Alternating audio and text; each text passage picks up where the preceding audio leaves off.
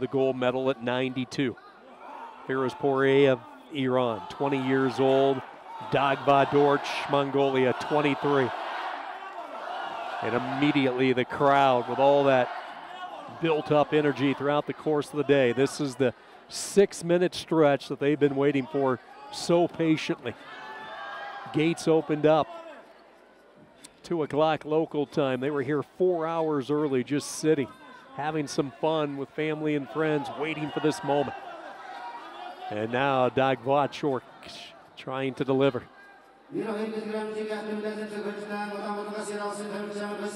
Close to giving up the step out.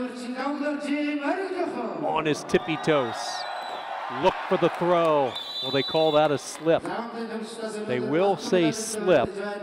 Step out point. Now the judge is going to go two. Mat Chairman goes two. So no slip there. And there's a blood timeout. Dag Vadorch is going to have to go get cleaned up. So that's where the three person officiating crew comes in. Close call on the edge. Mongolia tried to hit the little shoulder throw oh. there. Referee thought that he was the aggressor, so he was only going to go one on the step out. That's when the judge and the match chairman came in with two.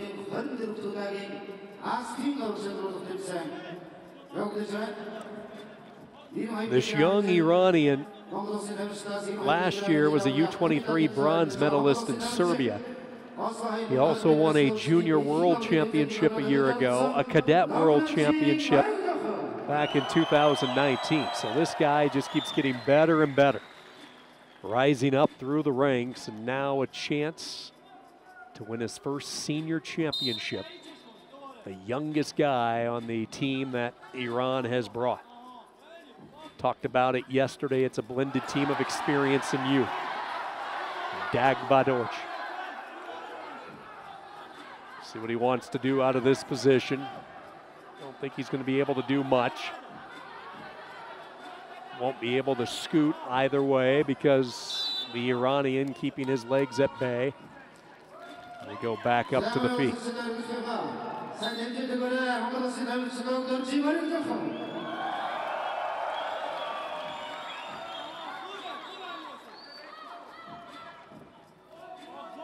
Almost kind of looks like a Greco-Roman match here with all the pummeling. Shoulders and hands, forearms, everything getting involved. Now the two trench down into the center. Arm spin attempt, nothing there. Did a full 360 and just couldn't lock it up. Keep an eye on that. That's twice now that Dagbor George has tried to hit it. Stutters a little bit, Firouzpour, not able to take advantage. Two minutes into this opening period. Right arm underhook now by Firouzpour. Driving the Mongolian back near the edge. Swings over to the right, captures the leg, and they hop skip out of bounds. Another step out.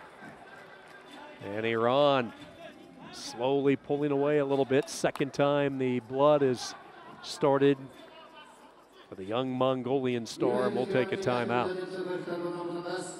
Just 44 seconds remaining, period one. Orgilokh Dagvadorj has been left bloodied by this superstar 20-year-old for Iran. I mean, you take a look at the resume for Amir Hosseini. Cadet World, Junior World, U23 bronze last year. I mean, there is not much that he has not accomplished yet throughout the younger levels. So the future certainly so bright moving forward. It appears that future might be now at this weight class for Iran.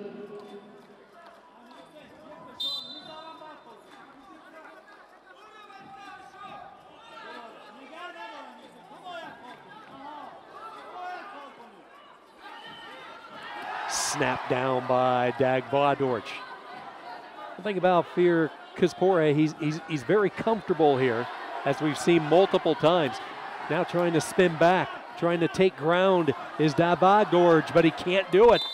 Again, that mat presence by Firouz Porij. He doesn't panic when he gets out there. It's like he's comfortable in that area. And that's where he's winning this first period.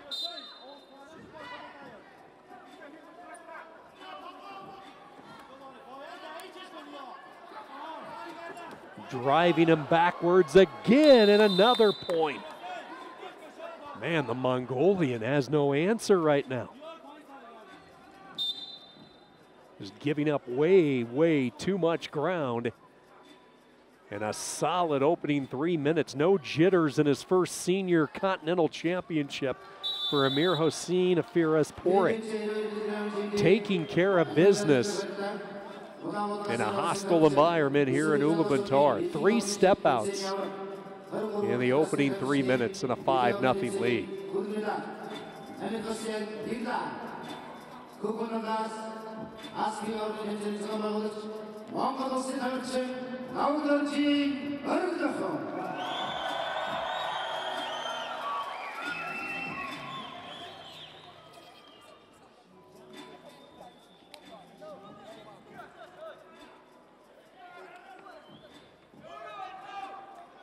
This crowd wants to go nuts. They want to explode, but Dagvadorj has been unable to deliver so far. But as we've seen tonight, second periods have been a little crazy. First thing he needs to do is, is quit giving up so much ground. That's going to be the top adjustment he makes. Comes right over the top of the low leg attack. Dust settles, no change. Now nose to nose. Those two look each other square in the eye. A little more pop in the step from Fears Firouzpouri dancing around a little bit more. Almost looks confident, doesn't he?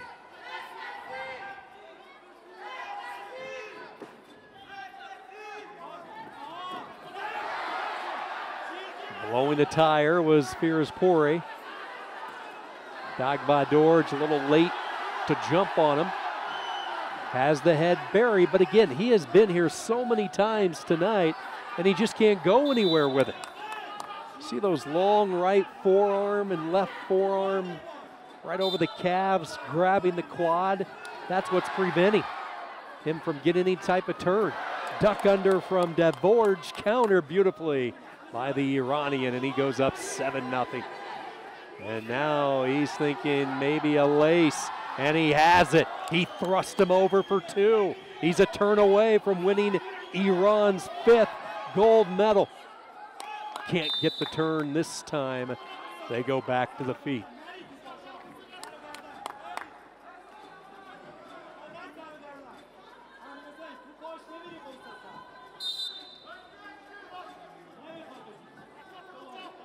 Dagvadorj, both hands on his knees. In danger of losing this gold medal match.